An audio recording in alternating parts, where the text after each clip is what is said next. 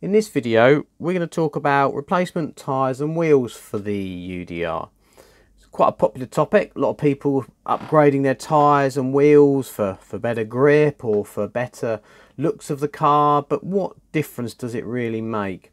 Well, what we've done, we've got the standard wheel and tyre here. Now, these are just a standard glue-on wheel. There's no um, nothing other than super glue around there and around there, which holds these tyres on.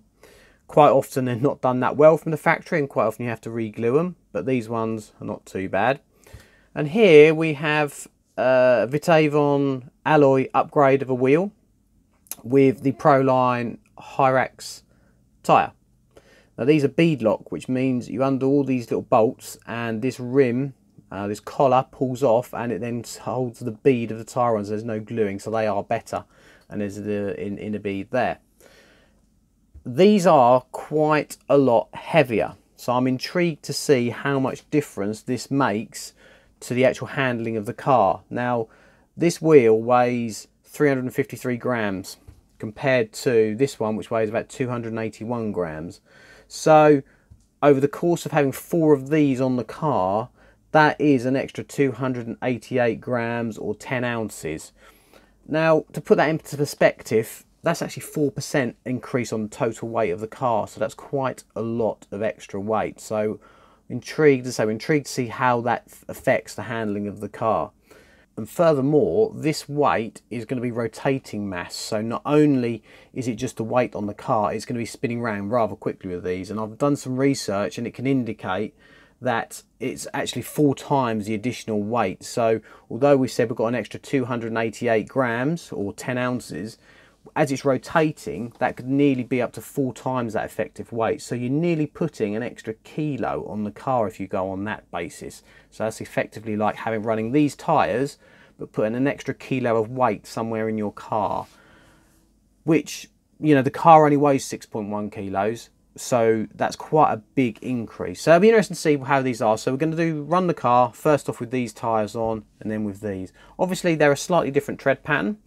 Anyone that's familiar with any sort of motorsport knows that tyres are the be all and end all. You can have the most powerful car, you can have the best setup car, be it in Formula One, IndyCar, NASCAR, rallying, rallycross, anything like that.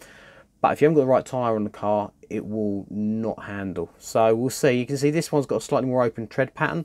The standard tyre usually is a bit of a compromise between durability and grip, which which probably rings true with these. is quite a close block pattern on these. This is a bit more open.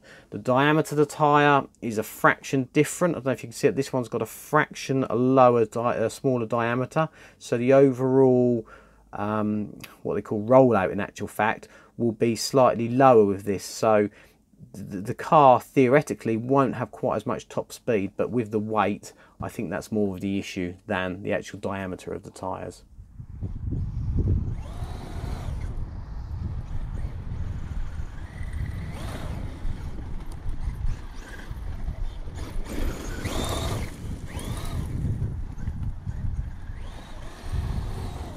So we did our test. We ran around with our standard tyres. We pretty much know how the truck handles.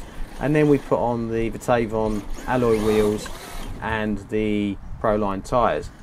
Well, what was the difference? The truck definitely felt slower. It wasn't accelerating as quick, which would ring true with the extra weight.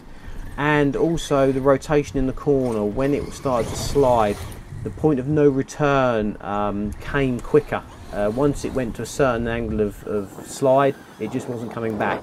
The UDR seems to be a little bit like that anyway, but the alloy wheels just seem to make that even worse. But up until that point, it was actually slightly more controllable, slightly easier to drift. Now, I don't know if that's because the weight calms the power down a little bit, or whether it is just having those better tyres on. I'm not sure. So we'll do a little bit more in, uh, investigations into that. So is it worth buying these wheels? Well, if you like the look of them, then yes, I would go with them. But you need to be very careful with the UDRs. People start putting a lot of alloy parts on these cars, and all of a sudden you can add an extra kilo, probably more than that, onto these cars, and then they start to go slower. So you put more power in, and then you're going to start to break diff gears and things like that. So you've got to be very careful. So my mind is I will be using these until the tyres I've pretty much had it, and these will be a nice little upgrade which we will use but I wouldn't go out of my way to put them on for a brand new truck.